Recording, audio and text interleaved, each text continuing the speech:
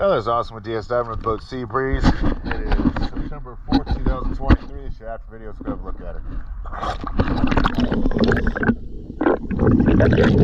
it.